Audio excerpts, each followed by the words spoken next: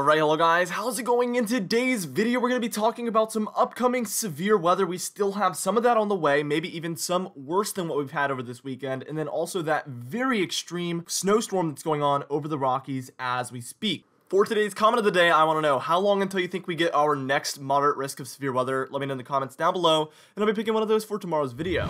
Let's get straight into things, and we're taking a look at the whole United States. You can see a whole lot of rain going on there for the central United States, and a whole lot of snow going on over there for the Rockies. So the first thing I want to do here is I want to just zoom in right into that snowstorm real quick. Now, this thing is really picking up steam. It's not fully underway at all. We are going to take a look at the modeled guidance for this one coming up very shortly in this video. Uh, but right now, you can see plenty of those blues going on, which is indicating some very heavy snowfall. Most of that is north of Denver uh, and near Cheyenne there in Wyoming. Also up there in central Wyoming, we are getting some of that heavier snowfall as well. This is really going to begin to build together, and obviously, this is just going to be a historic snowstorm uh, for most of these regions. Uh, so let's take a look a little bit further east at that rainfall going on. Now, we've been mentioning for a few days now that there was some flooding possible with this storm system. It is a very strong storm system, so we have lots of rain, severe weather, and also snow associated with it. Uh, those yellows are indicating the heavier areas of, of rainfall going on, but you know that obviously.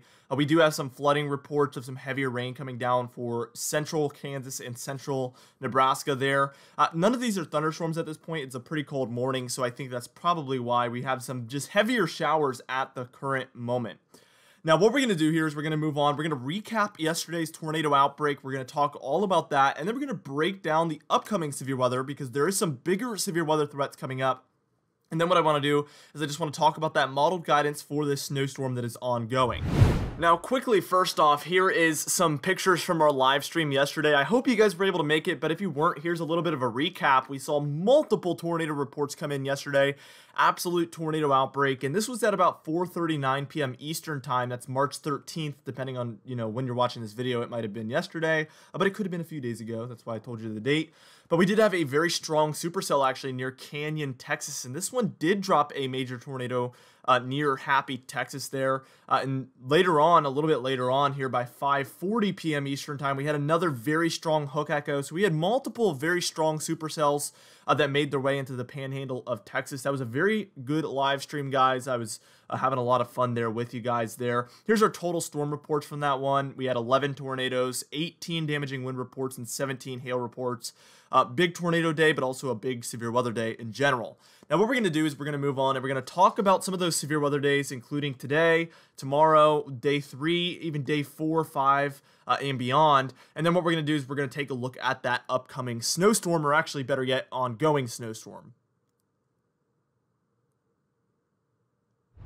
All right, now here we go. We're talking about today. And as you can see, we only have a general thunderstorm risk there in that lighter green. You can have severe weather in these, but you know, you're not really expecting it. It's those darker greens where we start to see some severe weather. So for Arkansas, Louisiana, uh, and then even Mississippi, and then up through Kansas. Now, this was a slight risk as of yesterday, but they went ahead and downgraded this, so I don't think we have too big of a threat for severe weather through the day today. Uh, they're not very impressed over there at the Storm Prediction Center.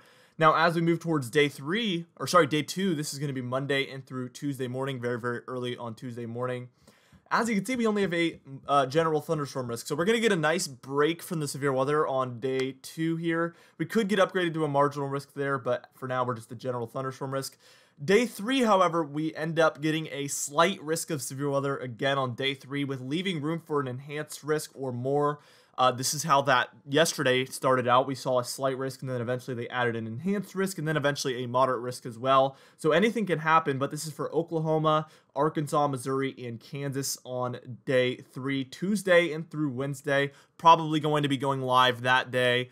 Uh, and then also day four, which is going to possibly be one of our bigger severe weather days so far this year where they've added the 15% chance, which indicates a slight risk at least, and then a 30% chance there for Louisiana, Arkansas, Mississippi, and Alabama, as well as a little bit of Tennessee. And that indicates at least an enhanced risk at this point for day four. So they're leaving a lot of room for uh, some sort of upgrade to a moderate risk or hopefully not more. Uh, for day four. We're going to be tracking this very closely, so I will probably be going live Tuesday, Wednesday, and now even taking a look at day five possibly even Thursday here, as we have a 15% chance, at least a slight risk of severe weather from the panhandle of Florida up through Georgia, South Carolina, North Carolina, and even southeastern Virginia, my local region. So it looks like we're going to have another week of severe weather. And the interesting thing is we're going to be approaching rapidly the beginning of April, uh, which is going to mean more and more severe weather. So, so far we're seeing a pretty active March. Uh, so we're going to have to see how that carries through into April, May, and beyond. Now, what we're going to do here is we're going to move on and we're going to focus on that very major snowstorm and blizzard going on for the Rocky Mountains and the Northern Plains. Now here we are taking a look at those warnings, watches, and advisories. And I wanted to draw your attention to this because we have winter weather advisories there in those purplish colors, even up in through California and Oregon. But more specifically, our storm we're talking about today, the four corner states up through Wyoming, Nebraska, South Dakota, Minnesota, Iowa, and then even a little bit of Wisconsin and Illinois. Winter storm warnings located in those pink regions there for Wyoming, Nebraska, South Dakota, Colorado, uh, and then even areas there um, for Iowa, Minnesota, and another region in eastern South Dakota there. And then we have blizzard warnings located in those oranges for Wyoming, Nebraska, and South Dakota.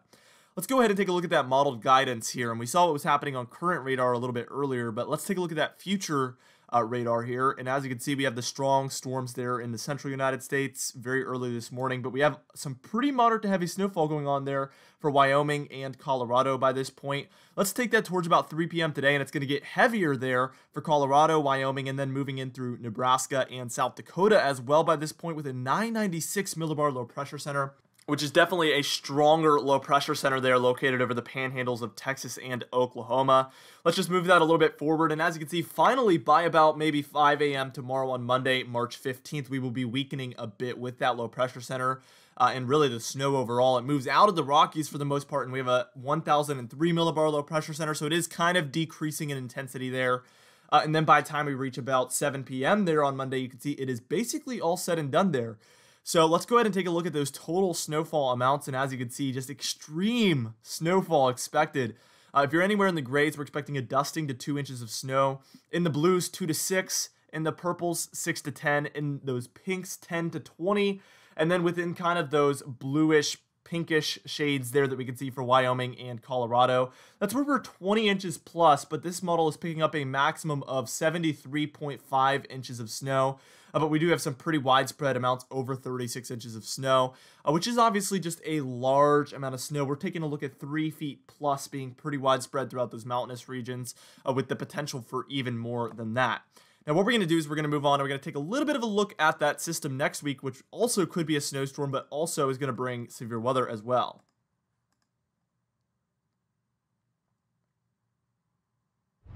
So we're starting things out on about Tuesday at probably about 11 p.m. So we're talking just a few days from now. Uh, and as you can see, another strong low pressure system is developing there for the panhandle of Texas. Almost the same exact location there, but we have a 995 millibar low pressure center uh, and then a 998 millibar low pressure center over Oklahoma. That's that uh, severe weather risk first off for day three there uh, for Oklahoma, Kansas, uh, Arkansas there.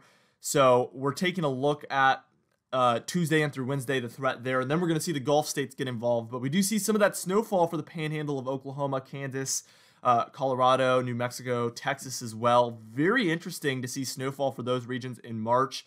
And then by the time we're reaching Thursday morning, you can see we see most of that severe weather going on for Alabama, Florida, Georgia, and uh, eventually the Carolinas. But it's going to move up in through those regions by about, I would say, probably 4 a.m. there on Friday. And be for the most part all said and done, that low pressure center is a 1001 millibar low pressure center. The interesting thing is by time we're reaching about 7 p.m. there on Friday. This low pressure center moves offshore of the East Coast, and then we see some snowfall develop for the mid Atlantic there.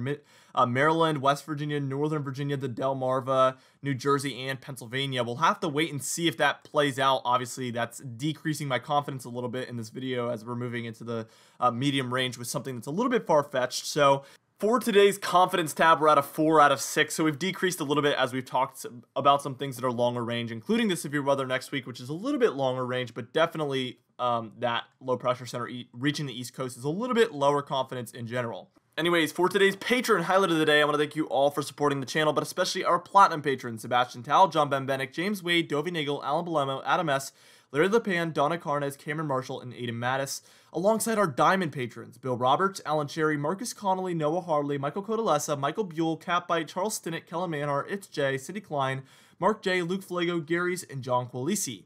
If you would like to be a part of this Patreon screen of the day, you can do so by joining our very exciting Patreon page in the description and in the pinned comments down below. Anyway, guys, thank you so much for watching this video. Again, be sure to share with your friends, family, and social media. I will see you guys in the next video.